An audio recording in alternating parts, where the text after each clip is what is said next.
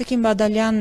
Արցախից վերադարձել եք նոր մի քանի օր այնտեղ եք անցկացրել։ Կխնդրեի ներկայացնեք իրավիճակն ինչպեսին է, քանի որ գիտենք, որ տարբեր լուրեր են տարածվում եւ տեղեկատվական դաշտում ընդհանուր առմամբ այսպես հակասական կարծիքներ ու տրամադրություններ են տիրում։ Դուք ինքներդ ինչ կարող եք ասել նաեւ ականատեսի աչքերով այնտեղ զինվորների հետ կապված պայմանների հետ կապված իրավիճակը ինչպեսին է։ Իրավիճակը այնուամենայնիվ այս պահին արդեն վերահսկողության տակ է գտնվում, ամեն ինչ էլ կա իրականում եւ շատ ոգևորող բաներ կան եւ կան շատ այսպես մտահոգող իրավիճակներ, բայց ամեն ինչ շտկվում է, այնուամենայնիվ Երևանից բավականին շատ մարդիկ կան այնտեղ եւ տարբեր ինստիտուտներից, որպեսի ինստիտուցիոնալ մակարդակով կարողանան օգնություն ցուցաբերել եւ կամավորներ եւ ուղղակի Հայաստանի Հանրապետության քաղաքացիներ, որոնք այնտեղ են օգնելու համար, որպեսի հանկարծ ինչ որ միտեղ մատակարարումը չպակասի, որպեսի կարողանան ինֆորմացիան ավելի արագ հասցնել, որովհետեւ կապը կտրվում է երբեմն երբ գնդակոծում են շատ ուժեղ եւ շատ դժվար է լինում ինչ որ տարբերակով լուր իմանալ, իմանալ ինչ է հարկավոր, ինչ է պետք հասցնել, այնուամենայնիվ բավական բավականին կարգավորվեց, եթե նույնիսկ որոշակի խնդիրներ առաջացել էին, այդ ընթացքում կարողացան միահամուռ ուժերով կարգավորել բոլոր իրավիճակները։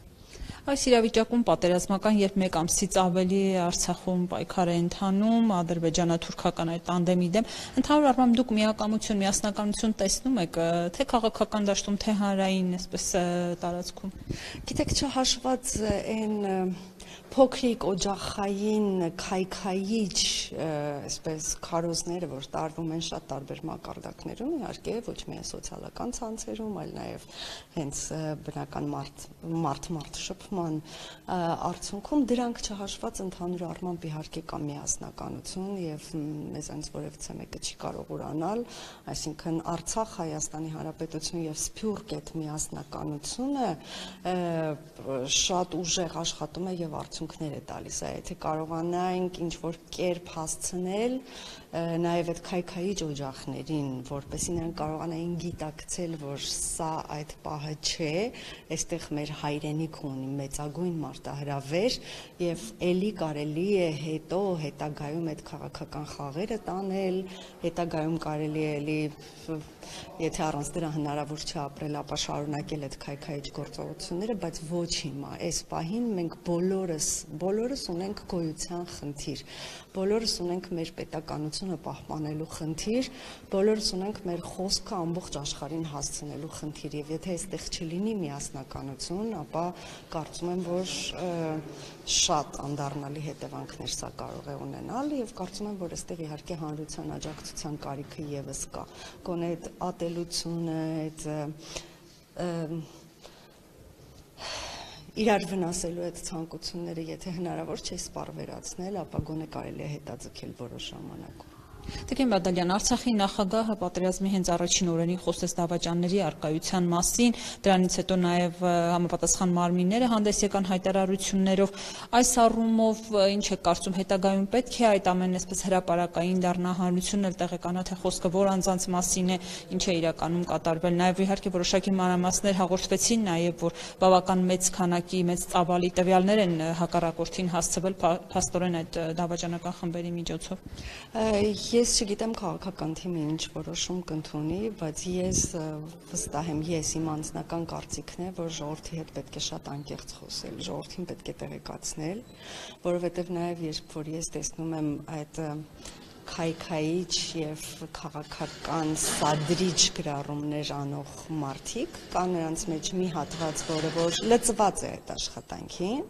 եւ կա մի հատված, որը որ հավատում է նաեւ անկեղծորեն հավատում է, այսինքն պետք է անկեղծ խոսել մարդկանց հետ, պետք է իրավիճակը կոնկրետ ներկայացնել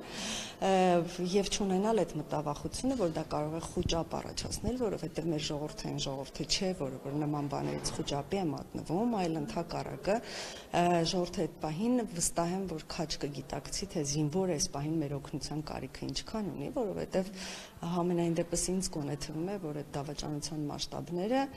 նո ասենք թվում է, որ դավաճանության մասշտաբները շատ ավելի մեծ են, քան այս պահին գոնե ինֆորմացիան հասցվում է, եւ եթե չլինեին այդ դավաճանական կոնկրետ պետական դավաճանությունները, ապա ես կարծում եմ, որ մենք հիմա մի քիչ ավելի բարվոք վիճակում կգտնվեինք, բայց որպեսի դրանք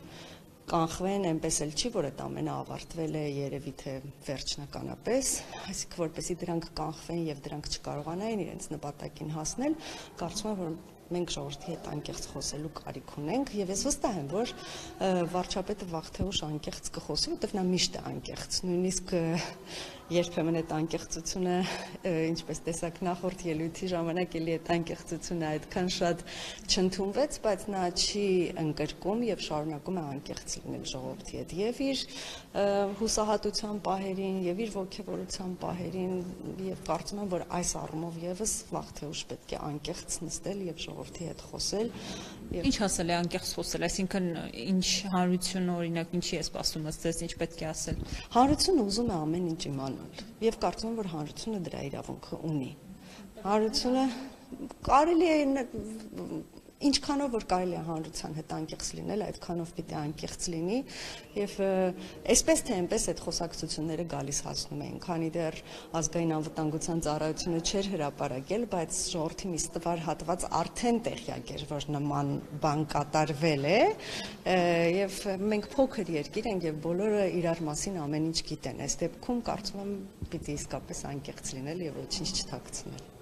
եւ հոկտեմբերի 8-ին հայտնի դարձավ, որ ԱԱԾ տնօրենն է պաշտոնանկարվել։ Դրանից հետո վերջին օրերին եւս մի քանի պաշտոնանկություններ եղան սահմանապահ զորքերի հրամանատարը ԱԱԾ-ի սահմանապահ զորքերի շտաբի պետը եւ հակահետախուզության դեպարտամենտի պետը։ Այս պաշտոնանկությունները ռազմական դրության, պատերազմի պայմաններում արդյոք հարցեր չեն առաջացնում։ Ըստ ձեզ արդյոք այս դավաճանական խմբերի այդ գործի հետ առնչվում է սա թե ոչ, այսինքն ըստ ձեզ իրենց արժեվ դրված խնդիրը կարողացել էին այդ պաշտոնյաները կատարել թե ոչ, այսինքն հարցեր չի առաջացնում ընդհանուր առմամբ ԱԱԶ-ից նման բարձրաստիճան պաշտոնյաների պաշտոնակությունները։ Նայեք, բոլորին դավաճանական այդ իրավիճակի մեջ տեղավորելը շատ սխալ է, որովհետև երբեմն պաշտոնանկություններ կատարվում են նրա համար, որ մեկ ուրիշը հնարավոր է այս իրավիճակում ավելի օգտակար կարողանա լինել, հավատացնում եմ, որ այնտեղ էլ կան մարդիկ, որոնք որ պաշտոնից ազատվել են նրա համար, որ ուղղակի ամբողջությամբ այս պահին Էլի եմ կրկնում, մարտահրավերը ուղակի այդ մարտահրավերին դիմակայելը կարելի ասել մեր ուժերից վեր է վերը ասելով ոչ թե վերը մենք չենք կարողանալու, այլ մեր կարողացածից ավելին պիտի բոլորս անենք, որպեսզի կարողանանք դիմակայել այս մարտահրավերին։ Ու եթե այդ պահին հասկանում ես, որ կոնկրետ այս գործիչը հնարավոր է որ չկարողանա ամբողջությամբ ձգել իրավիճակը վերցնել իր ձեռքը, ապա կարծում եմ, որ պաշտոնանկություններից պետք չի վախենալ եւ պետք է այնպիսի մարդկանց հետ համագործակցել, որոնք որ կարողանան ամբողջությամբ իրավիճակը շտկել, իսկ երբ որ կլինի հաղթանակը, դրանից հետո արդեն կարծում եմ վերադասավորումներ կլինեն։ Եվ վերջին հարցը, մենք տեսանք, որ նախորդ տնօրենի դեպքում էլ առմամբ բացատրություն չտրվեց, թե ինչն էր նրա պաշտոնանկության պատճառը։ Հիմա Արգիշտի Քյարամյանի պաշտոնանկությունը եւ եւս 3 ԱԱԾ պաշտոնյաների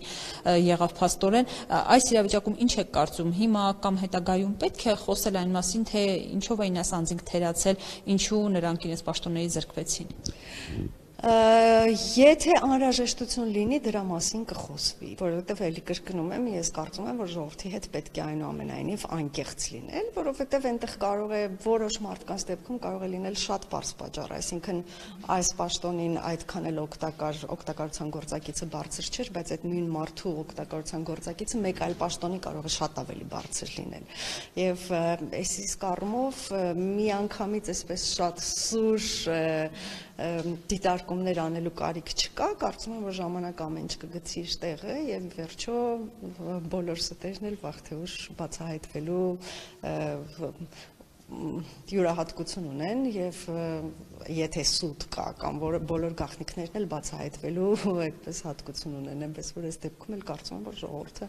միևնույնն է վաղ թե ուշ կիմանա ինչն էր պատճառը, պատճառը այն էր որ ինչ որ բան սխալ է արվել, թե պատճառը այն էր որ ուղակի ինչ որ մեկը շատ ավելի լավ կարող էր դա անել։